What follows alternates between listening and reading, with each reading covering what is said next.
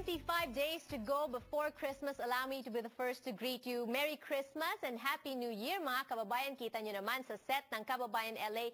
Paskong Pasko na po. Napakarami na pong mga regalo at ang Christmas tree namin nakatayo na rin. Meron pang Christmas star sa tuktok. Pero ngayong hapon sa Kababayan LA, maaga pong pamasko ang naranasan ng ating kababayang boksingero, the newest Filipino boxing champ. Matapos po niyang mapanalunan ang titulong WBC Light Flyweight Champion Rodel Mayol. Siya po ang kasama natin ngayong hapon sa Kababayan LA, opening our week of sports-related topics on the show. Southern California's first and only locally produced daily show for and about the Filipinos. Rodel Mayol, congratulations to you. Ay, thank you po at binabati ko ang lahat ng Pilipino na nanonood ngayon sa Kababayan LA.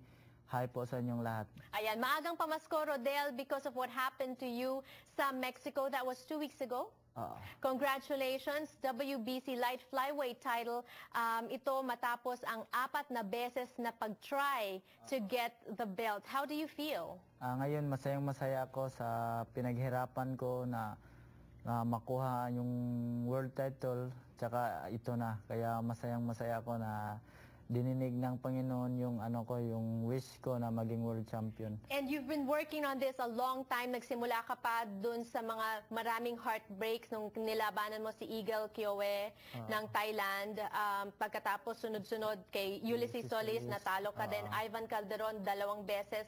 Um, Draw isa tsaka yung isa last natalo. Mhm. Tapos ngayon, finally nanalo ka. But you know what? Hindi lahat ay um, sumasang-ayon sa naging desisyon ng WBC. You know that, right? Oo. Let's first watch this and we'll get your opinion on that. Ayan.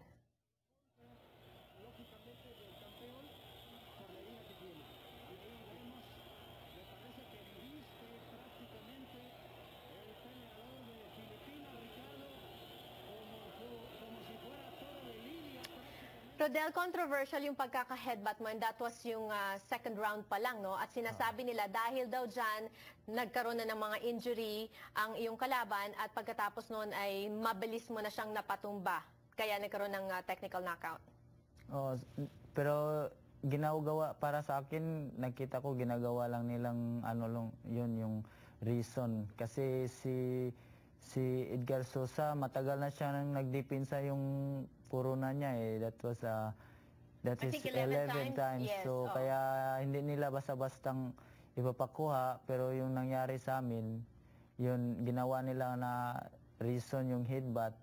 Pero yung totoo talaga niyan, kasi ako boksingero din, si Edgar Sosa hirap na siya sa timbang niya, kaya hindi na siya, yung sa timbangan pa lang, sinasabi na namin na pana, may malaking chance natin matalo si Edgar Sosa kasi hirap na siya sa timbang tapos sa weigh-in day na matagal nag-weigh-in kasi nakikita namin na Hindi talaga makuha yung Oh. timbang.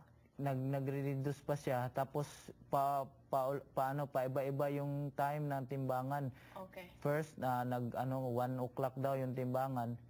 Tapos sinasabi na 2 o'clock na daw tapos ginawang 3 kaya sabi namin hirap na si. So, ang Susa, sinasabi mo, dahil hirap na siyang kumuha ng timbang niya, umpisa pa lang, talagang mahina na siya, Oo, umpisa pa mahina lang, na. kayang-kaya mo na. Oo. Ngayon, ang nangyari kasi sa headbutt na yan, some people are saying, especially mga supporters na, and according to boxingscene.com, uh, they are quoting si Don Jose Sulaiman mismo ng WBC as saying na, after proof presented, it seems that it was an intentional headbutt. Intentional daw. Sinadya mo daw yung headbutt na yun. Hindi, hindi yun.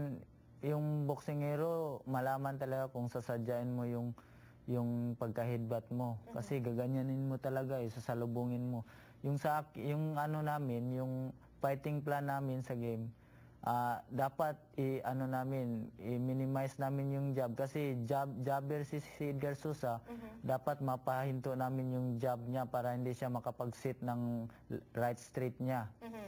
Dapat do that, oh ka-counterin mo pag jab siya ka-counterin mo ng ng uppercut or or straight to the head.